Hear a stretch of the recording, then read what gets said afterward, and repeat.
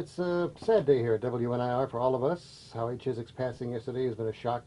Howie Chizek first signed on at WNIR on June 3, 1974. His longtime friend Bob Lewis remembers him fondly. Howie loved sports of all kinds. May well remember Howie Chizek at the old Richfield Coliseum.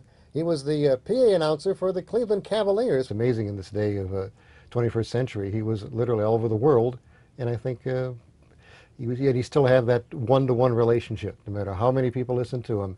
When you heard the radio, heard Howie Chizek, he was talking to you. Howie grew up in Cleveland Heights and always had a passion for radio. He was a tireless worker and had the longest running talk show in the country. Larger cities wanted his talent, but this was home. This is Howie. Bob Kloss is the president of WNIR. He says Howie knew how to push the right buttons to keep people engaged, no matter what the topic. He was extraordinarily humble uh, off the air.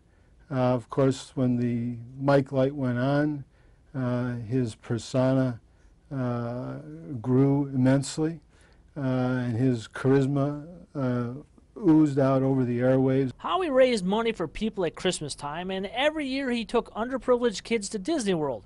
In fact, Howie died of a heart attack on one of his trips this weekend. You know, he was part of the community. He was your friend. You know, he was there for you for, for 40 years. Howie Chizek was 65 years old.